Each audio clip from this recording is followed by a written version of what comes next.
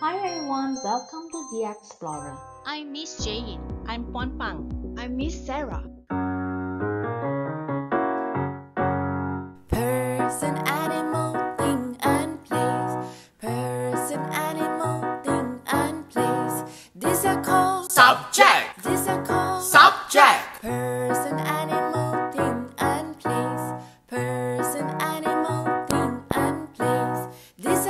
Called Subject. These are called Subject. These are called Subject. That's all for today's lesson. Thank you. Subscribe DeExplorer for more lessons. Have a nice day.